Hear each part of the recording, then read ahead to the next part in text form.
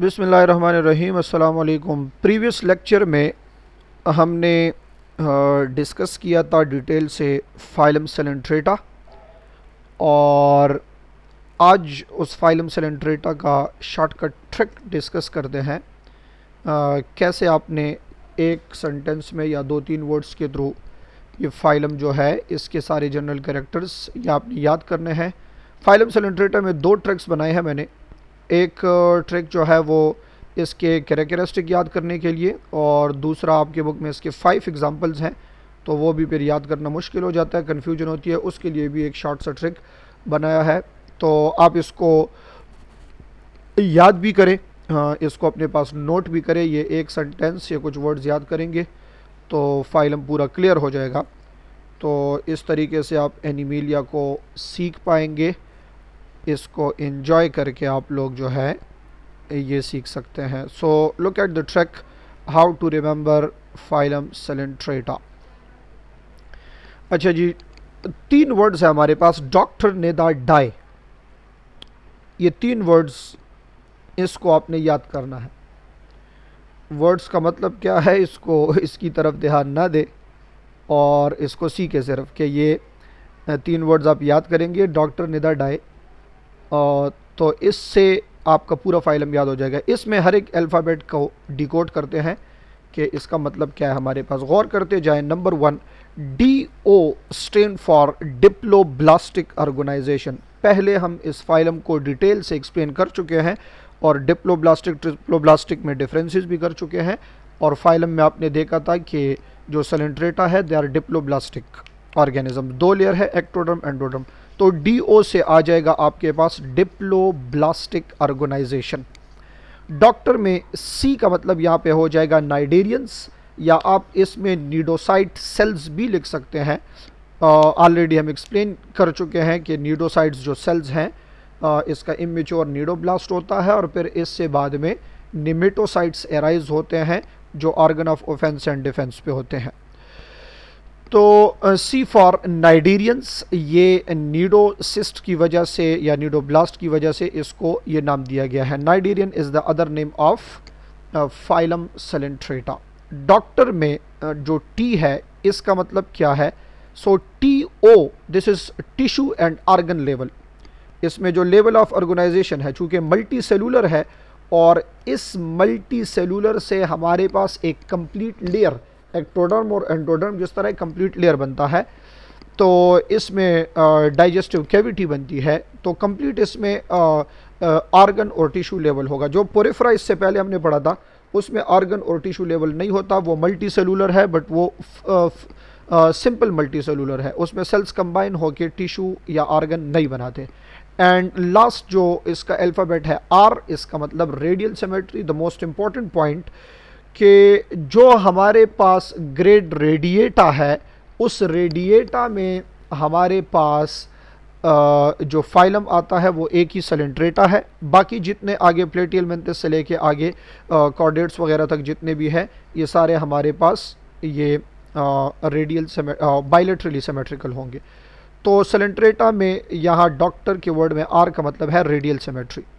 Next word cnida, इसमें N stand for nematocytes nematocysts, जो specialised cells हैं इसके अंदर ऑलरेडी एक्सप्लेन हो चुका है I and D I D this is for indirect development कल मैंने बताया था कि इनडायरेक्ट और डायरेक्ट डेवलपमेंट के, में क्या फ़र्क होता है। डायरेक्ट डेवलपमेंट वो होती है जिसमें लार्वल स्टेज ना आए और इनडायरेक्ट डेवलपमेंट वो होती है जिसमें लार्वल स्टेज आ जाए। तो यहाँ पे लार्वल स्टेज इसमें आ रहा है। कौन सा लार्वा है? प्लेनूला लार्वा है। इसलिए ये डेवलपमेंट इसकी इनडायरेक्ट है और ए इसके हैबिटेट के लिए है एक्वेटिक ये जो वर्ड डाई है, ये इसके डाइजेशन के लिए है तो digestion D for digestion I E internal और एक्सटर्नल दोनों डाइजेशन होते हैं। इंटरनल में मैंने कहा था, जो सेल के अंदर होता है तो सेल के अंदर डाइजेशन कौन से सेल्स के अंदर? जॉइट्स के अंदर होती है ये डाइजेशन और एक्सटर्नल डाइजेशन जो है वो डाइजेस्टिव कैविटी उसके अंदर होगी, जो इसके बॉडी में सिर्फ़ ये एक ही कैविटी है। ये आपके पास जनरल कैरेक्टरिस्टिक्स आ गए हैं। तकरीबन आठ से दस डिफरेंट करेक्टर्स अगर शार्ट क्वेश्चन में आपके पास आ जाए write down the general characteristic of cnidarians या सेलेंट्रेटा तो इस एक, ये तीन वर्ड्स आप याद कर लें, इससे पूरा फाइलम आपका, ये आप क्वेश्चन में लिख पाएँगे, याद हो जाएगा आसानी से। इसके एग्जाम्पल्स हमारे पास क्या है? एग्जाम्पल्स के लिए आज एक अलग ट्रैक है jelly fish in H S C ocean H S C असल में एच एस एस जो है वो हाई सेकेंडरी स्कूल होता है। तो आप इसको ऐसे समझिए कि जेली फ़िश जो है वो हाई सेकेंडरी स्कूल में जो ओशियन है, उसके अंदर जेली फ़िश पड़ा हुआ है। जेली फ़िश वहाँ पर रहता है। तो एस सी यहाँ पे आपके पास ये डिफरेंट एग्जांपल है। जेली फ़िश तो ऑलरेडी एक एग्जांपल है और एच यहाँ पे हाइड्रा के लिए, S for sea anemone C for coral और ओशियन का जो ओ है, इससे आ जाएगा ओबीलिया। तो ये पाँच एग्ज़ाम्पल आपको याद होने चाहिए। Jelly fish hydra sea anemone coral and obelia इस ट्रैक से आपको ये एग्जाम्पल्स भी साथ में याद हो जाएँगे। तो ये हमारे पास फाइलम सेलेंट्रेटा को याद करने के लिए ट्रैक है, जिसको आप तो चार से पाँच मिनट में इजीली याद कर सकते हैं, दो तीन मिनट में याद कर सकते हैं। अच्छा ऐसे करते हैं कि नेक्स्ट जो फाइलम हम पढ़ेंगे प्लेटियल मेंथस उसका भी ट्रैक यहाँ पे पढ़ लेते हैं। अच्छा जी, फाइलम प्लेटियल मेंथस को आपने कैसे याद करना है? इसके लिए भी शॉर्टकट ट्रिक है। एक ही सेंटेंस है, जिससे आपको ये सारे करेक्टर्स इसके क्लियर हो जाएँगे। गौर से देखिए, इसको साथ साथ नोट भी करें और इस सेंटेंस को याद कर लें। सेंटेंस हमारे पास है I hope to bat for fifteen thousand score कोई बैट्समैन है जो बैटिंग करना चाहता है और वो अपने कैरियर में 15,000 स्कोर करना चाहता है। I hope to bat for 15,000 score अच्छा अब इसमें इसको डिकोड करेंगे तो पता चलेगा फाइलम को याद कैसे करेंगे। I stand for two important properties internal fertilisation and indirect development वही बात है कि इसमें हमारे पास लार्वल स्टेज भी होगा और जो फर्टिलाइजेशन है इसलिए वो इंटरनल इनडायरेक्ट फर्टिलाइजेशन होगी। और फर्टिलाइजेशन जो है वो दो टाइप की आप पढ़ चुके हैं इंटरनल और एक्सटर्नल तो इसकी फर्टिलाइजेशन इंटरनल होगी। होप में जो एच है, इस ये हुक एंड सकर के लिए है। हुक जो है, इससे आपको पता है कि अटैचमेंट होती है। फाइलम में हम इसको डिटेल से एक्सप्लेन करेंगे।